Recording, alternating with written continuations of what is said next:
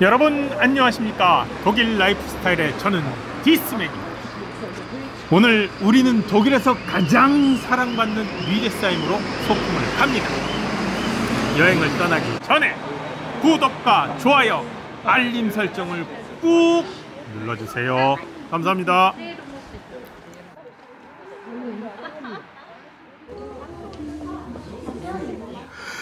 독일 사람들이 가장 좋아하는 뉘데스하임으로 떠납니다. 뉘데스하임의 중심가 참새 골목입니다. 드로셀 가세는 독일에서 가장 관광객 밀집도가 높은 거리입니다.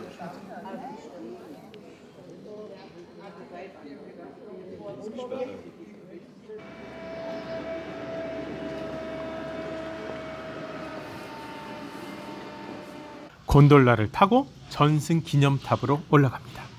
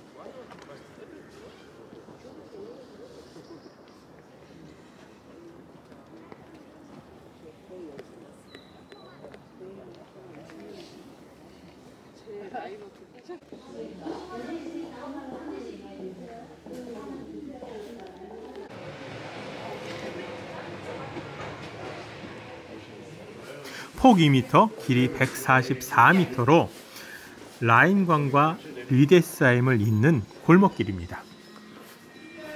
이곳이 참새 골목으로 유명한 이유가 있습니다. 이것은 독일과 유럽의 관광객들이 밤새 와인을 마시고 라이브 음악이 끊기지 않는 곳이라 합니다. 그렇게 떠드는 사람들이 마치 참새 떼처럼 시끄럽다고 해서 생겨난 별명입니다. 연간 300만 명 이상의 관광객들이 모여드는 골목입니다. 드로셀 가세는 선술집과 식당이 질비하게 늘어선 골목입니다.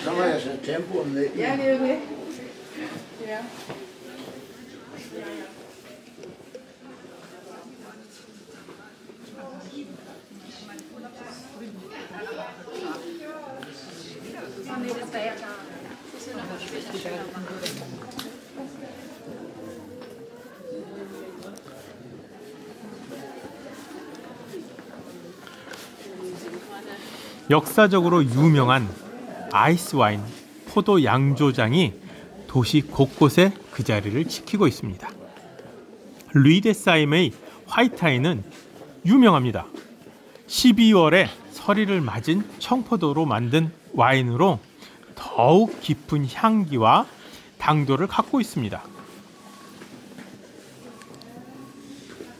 라인강에서 고기를 잡던 선원들이 그물과 어구를 나르던 골목은 자갈로 포장된 길입니다.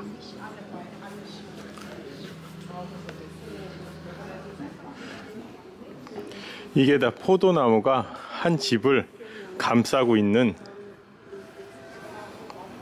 굉장히 특이한 골목입니다. 여기가 참새 골목. 골목집 듬성 듬성 포도나무가 집을 감싸고 있는 특색 있는 거리입니다. 이 집은 포도나무가 건물 전체를 둘러싼 역사적으로 유명한 건물입니다.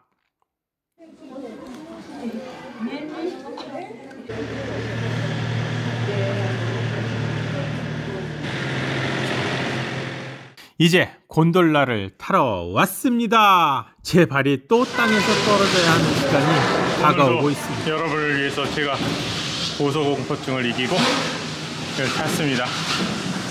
열심히 하늘로 높이 날아오르겠습니다.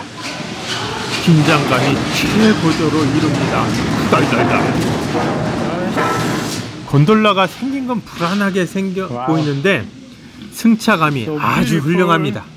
다행입니다. 저 앞에 보이는 게 마인강인가요? 아니죠. 라인강이에요. 독일 산업화의 주역 라인강을 보고 계십니다. 지난번에 왔을 때는 이 곤돌라가 운행을 하지 않아서 제가 끝까지 6km를 걸어서 올라갔습니다. 근데 오늘은 곤돌라가 운행을 하고 있습니다. 저 뒤에 보면 아주 멋진 광경이 펼쳐지고 있습니다. 고소 공포증이 저를 더욱 긴장하게 만듭니다. wow. 난 진짜 이게 땅에서 발 떨어지는 거 정말 싫은데. 청포도는 훌륭한 아이스 와인이 되기 위해 겨울을 기다리고 있습니다.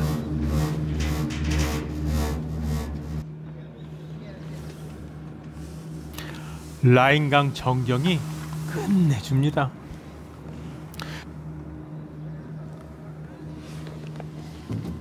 종소리가 좋았네.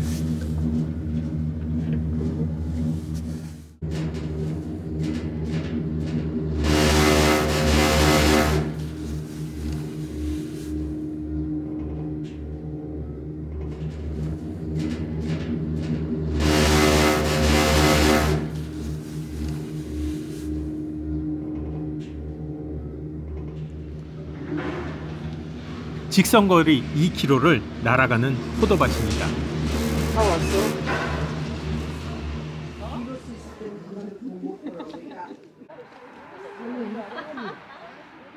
독일 전승 기념탑까지 올라왔습니다.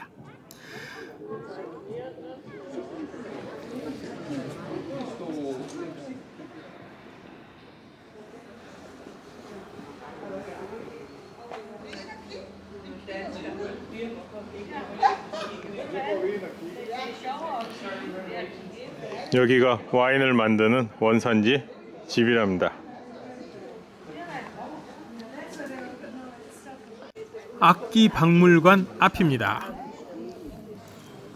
훌륭한 종소리를 기대하며 박물관 앞에 섰습니다.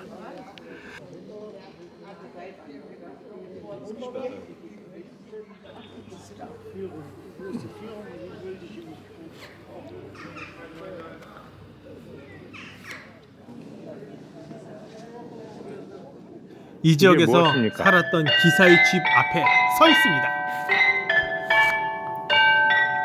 악기 박물관 바로 앞에 위치하고 있습니다.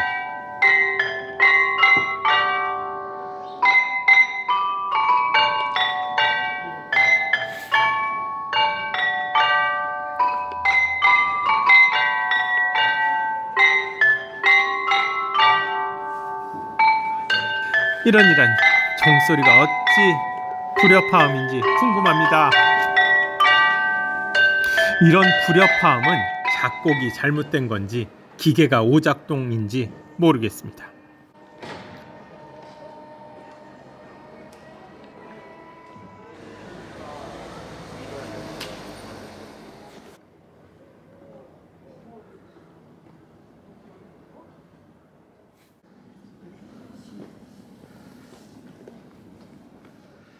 도시 곳곳에 성곽이 보이고 멋진 호텔들도 보입니다.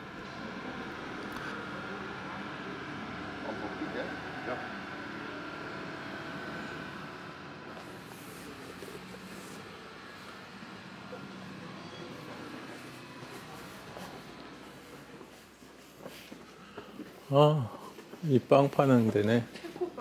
응.